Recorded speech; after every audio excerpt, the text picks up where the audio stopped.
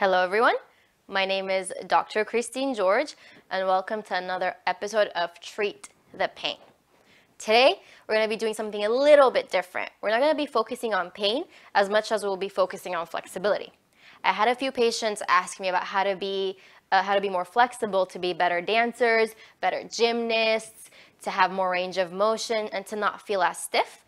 So this one's for a little bit of a younger crew and we're gonna be talking about flexibility.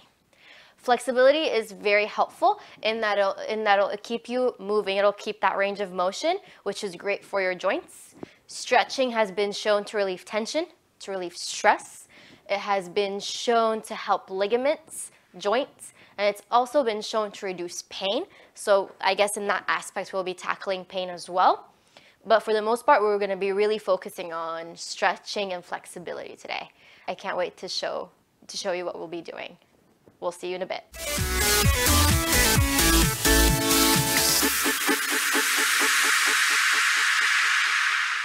Welcome back everyone.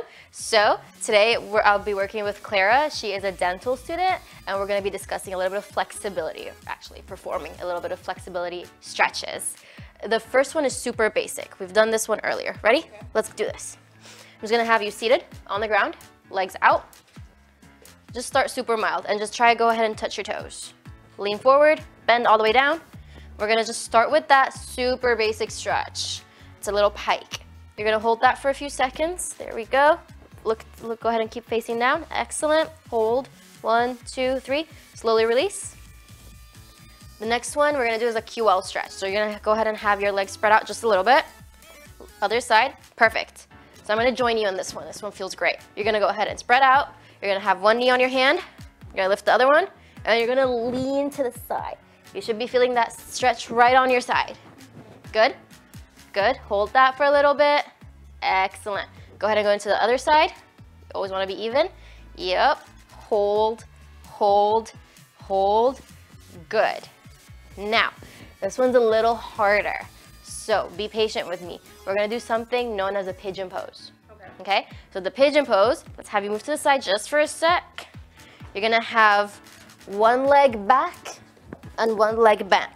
Okay. Ready? Let's have you do that. So, one leg back. Yep, and one leg back. All the way back. Yep. So you're gonna go ahead and face me.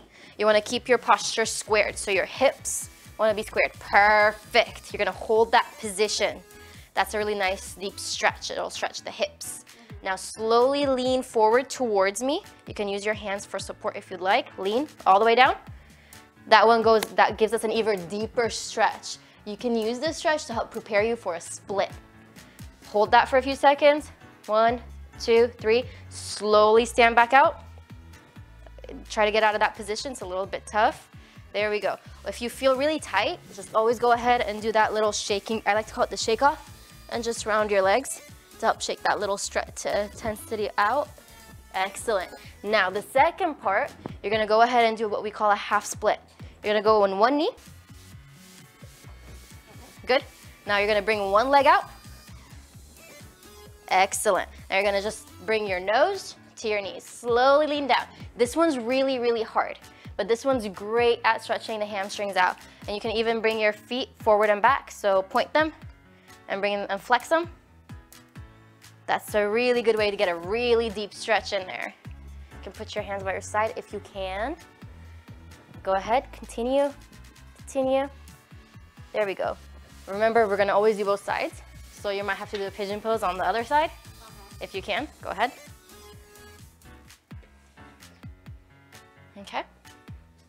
Good, good. Good positioning, good positioning. Hold, hold. Now slowly lean down. Excellent. You're gonna hold that position for a little bit. Make sure the hips are square, they're not as square. There we go, perfect. You're gonna hold, hold, hold. Now slowly come back up. Yep. Now we're gonna do the half split. Or you shake it off first. There we go, excellent. Now go ahead and do the half split for me. So the other leg, excellent. Nose to knee. And down we go. And always stretch the ankles out. Yep. Yep. Good. Good. Now slowly release. Finally, if you're feeling really tight and really uncomfortable, we're gonna do another exercise. We've talked about it before, but that it's a still a great exercise. It's known as the cat-cow. So you're gonna go on all fours. Right there, yep. Got this down. Make sure your knees are, are, are hips width apart.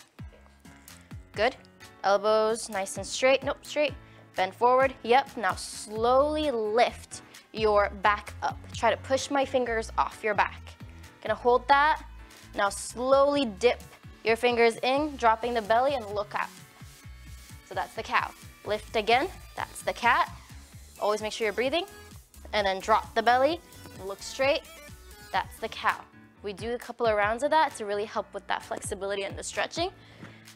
And how are you feeling with that? Feel good? Perfect. Thank you for joining me today.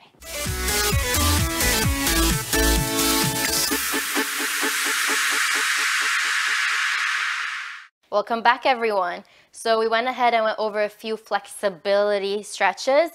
So with these flexibility stretches, some were more about the hips, so a little lower, and, and some were more about the general spine. Think cat-cow, it's pretty general up here. With these stretches, these are great to increase range of motion. These are great stretches for gymnasts, dancers, those who are more athletic. It's a really safe way to, to increase your range of motion and to increase your flexibility. Remember, stretches are great for stress, for tension, for flexibility, even for pain. However, never stretch past your tolerance. We don't want you to injure your joints or ligaments.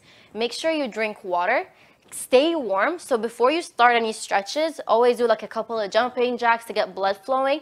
Don't stretch cold because that could also increase risk of injury.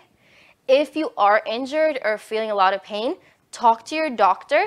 Don't wait on the pain. Protect yourself and protect your spine. And finally, I hope you do well. I hope, you're, I hope you stay healthy and I'll see you in the next episode.